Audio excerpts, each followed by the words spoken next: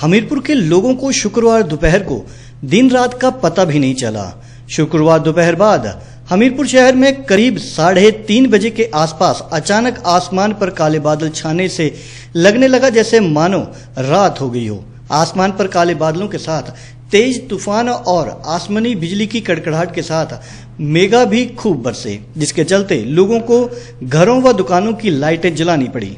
वहीं वाहन चालकों को भी वाहन चलाने हेतु लाइटों का सहारा लेना पड़ा। साथ ही राहगीरों और स्कूली बच्चों को भी बारिश में भीगते हुए अपने गंतव्य तक पहुँचना पड़ा। वहीं सोलन में करीब साढ़े चार बजे तेज तूफ़ान आया, जिसमें दिन के समय रात जैसा माहौल हो गया और इतना तेज तूफ़ान आया कि चंबा घाट में रेलवे फाटक के समीप एक बड़ा पेड़ सड़क और रेलवे लाइन पर जा गिरा, जिसकी वजह से जहाँ एक और कालका शिमला हाईवे जाम हो गया, वहीं दूसरी ओर कालका शिमला हॉलीडे स्पेशल के पहिए भी थम गए, जिसकी वजह से यात्रियों को भारी असुविधा का सामना करना पड़ा।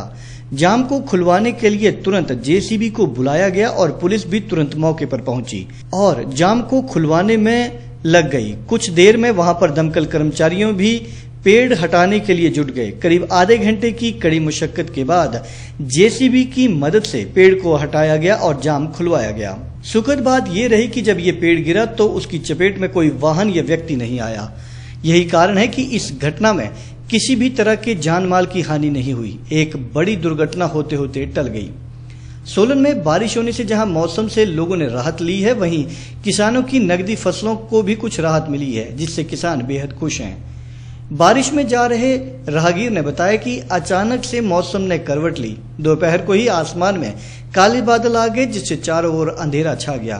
उन्होंने बताया कि बारिश होने से लोगों को गर्मी से राहत मिली है। सोलन ज़िले में आज मौसम में करवट बदल रही है। आज सुबह चार बजे भी हुआ ऐसा प्रतीत होता है जैसे कि रात्रि साढ़े आठ बजा हो। इस प्रकार धुंध और भारी बारिश से लोगों का आम जीवन त्रस्त हो गया है। ये बारिश फ़सलों के लिए भी नुकसान साबित हो सकता है? ऐसा आप पहली बार देखने को मिल रहा है, ऐसा इस प्रकार का मौसम भाजपा के शहर